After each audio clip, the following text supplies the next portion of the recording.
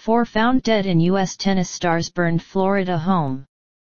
Four bodies have been found in the burned home of former tennis star James Blake in the U.S. state of Florida. The unidentified victims were found by firefighters early on Wednesday after responding to reports of a blaze. He was one of the top-ranked tennis players in the world in 2006, retiring from competition in 2013 after a 14-year career. Former executive, his wife and two children found dead with heavy-duty fireworks strapped to their heads after raging fire at tennis star James Blake's rented 1.5 million Florida mansion. Police sources in Tampa identified four people found dead this morning in a raging fire at tennis star James Blake's mansion as Darren Campbell, his wife Kimberly and their teenage children Colin and Megan. While there was no official confirmation of the victims, public records list Campbell and his family, a well-known businessman in the South Florida area, as living at the home Blake was renting out. The four bodies were recovered from the burnt-out home, but have yet to be officially identified. The 7,600 square foot home Million Dollar Home, located inside the exclusive Avila Golf and Country Club north of downtown Tampa, went up in flames around 6 a.m. A Hillsborough County Sheriff's spokesman said, We have just been given the all clear to go into the property. The bodies are still in there. Neighbors in the exclusive cul-de-sac also said a family of four lived in the home. M.R. Campbell's mother confirmed to Mail Online that her son was living in the home owned by James Blake. Blake, who retired from professional tennis last year, was reportedly at his Connecticut residence at the time of the fire.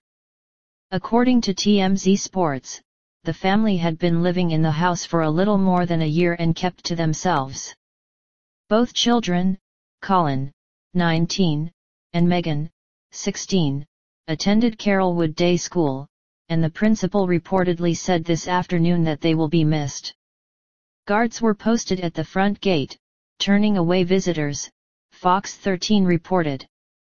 According to her Twitter, Megan has just yesterday won an academic award at the school. It's unclear whether the four people found dead in the house were killed by the fire or some other cause.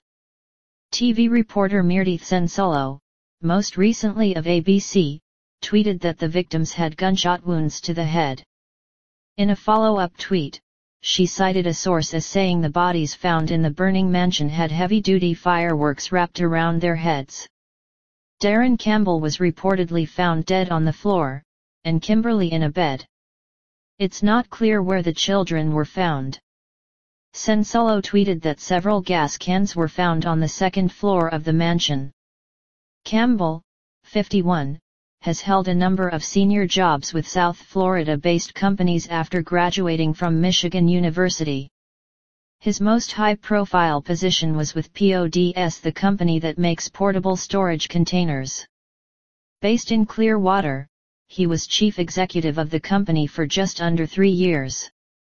Campbell, who is originally from Detroit, Michigan, began his career in 1992 at Ford Motor County, according to an article Indiana The Tampa Bay Times. He worked in various financial positions, principally financial analysis before moving to San Antonio, Texas as Chief Financial Officer for the Pabst Blue Ribbon Beer Company. In 2000 he relocated to Tampa and joined Anchor Glass Container Co. as Senior Vice President of Sales, leaving as Chief Executive to join PODS. He later joined Tampa-based Ivans Insurance Solutions but left three years ago. A spokesman for the company said they did not believe he had a job to go to when he quit the company. In a 2005 profile of Campbell the Tampa newspaper said he and his wife had their honeymoon at Disney World in Orlando. Campbell said he and his family visited the theme parks in the area about a half dozen times a year. Officials confirmed they had received reports of gunshots but they said the fire could have set off the rounds. The fire broke out before 6 a.m. and Hillsborough County fire rescue crews rushed to the scene. Hours later, firefighters were still there putting out hot spots at the home. It could be days before detectives are able to sift through the charred debris, officials said. The cause of the fire is still under investigation, and it is too early to determine if it is suspicious, police said.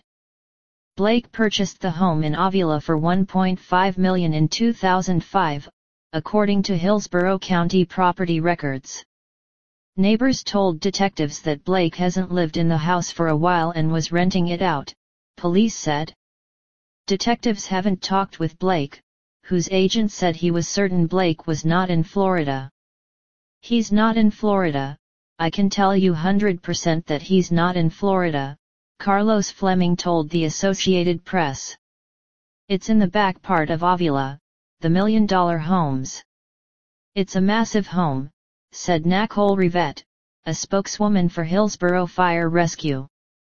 The sheriff's office said they are concerned about losing evidence to the fire. Blake's next-door neighbor reportedly told TMZ Sports that he heard several large explosion in early this morning and saw an instant fireball inferno when he went outside to check it out. He said the sound seemed to be coming from the garage of Blake's house. They added that detectives may not be able to even enter the remains of the home until Thursday, due to structural damage. This will delay the official identification of the victims. Once it is safe to enter, investigators will likely be on site for days gathering evidence. Avila is an exclusive enclave north of Tampa known for its mansions and heavy security. Many well-known athletes call the community home and over the years, various football, baseball and tennis players have bought homes in the subdivision, which has a country club and golf course. Blake, 34, was ranked fourth on the ATP World Tour in 2006. He has a two-year-old daughter with wife, Emily.